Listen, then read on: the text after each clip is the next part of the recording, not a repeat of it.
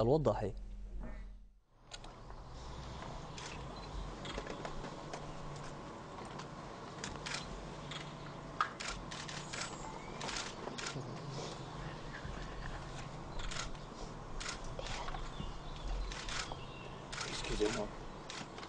بهذه الطريقة المؤثرة ودع المنتخب الجزائري مدلله مراد مجني الذي سيغادر معسكر الخضر ولن يشارك في مونديال جنوب أفريقيا لأسباب صحية.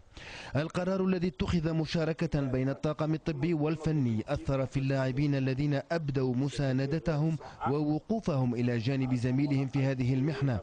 أما مجني فبدأ متأثرا ولكن مقتنعا أيضا بما قدم له من شرح وتبرير لوضعه الصحي الذي اتخذ على أساسه هذا القرار الصعب.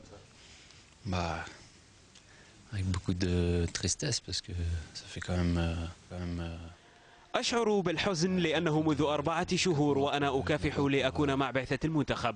أتفهم قرار الجهاز الفني لأنني لم ألعب منذ مدة طويلة. أريد أن أفعل شيء لكن هناك مخاطر نتيجة الإصابة التي أعاني منها في ركبتي.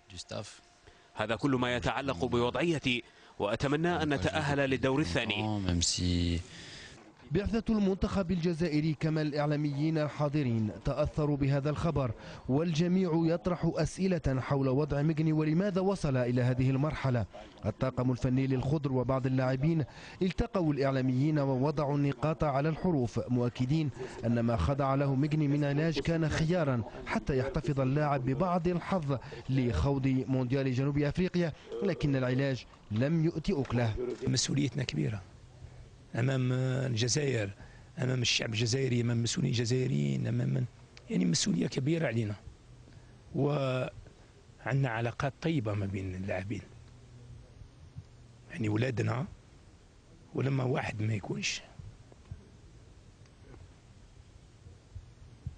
مجني سيغادر معسكر الخضر ويتهيأ الآن لإجراء عملية جراحية على ركبته وأمله العودة سريعا إلى المستطيل الأخضر. مع خضر بلاده. يوم لم يتعود عليه لاعبو الخضر مروا به هنا في كرون مونتانا. امتزجت فيه المشاعر بالأحاسيس وحتى بالدموع. بعد الإعلان الرسمي عن عدم تنقل اللاعب مراد مجني ضمن اللاعبين الثلاث والعشرين إلى جنوب أفريقيا لتمثيل الجزائر في كأس العالم. محمد الوضاحي الجزيرة الرياضية كرون مونتانا.